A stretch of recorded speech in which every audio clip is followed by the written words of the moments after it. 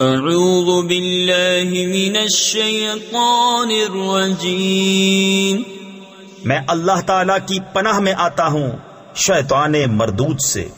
بسم اللہ الرحمن الرحیم.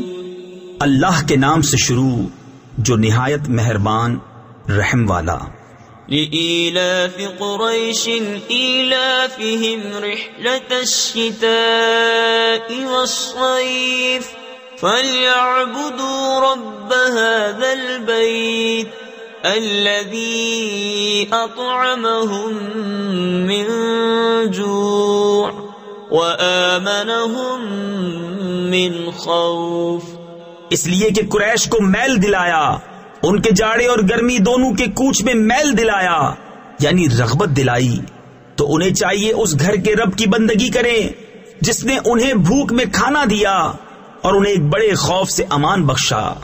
تفسیر خزان العرفان میں ہے، یہاں بڑے خوف سے مراد، یا تو قتل و غارت، قافلے لٹنا، یا مسافروں کا مارا جانا ہے، یا جزام کہ انہیں کبھی جزام نہ ہوگا، یا یہ مراد ہے کہ سید عالم محمد مصطفیٰ صلی اللہ تعالی علیہ وسلم کی برکت سے انہیں خوف عظیم سے امان عطا فرمائی۔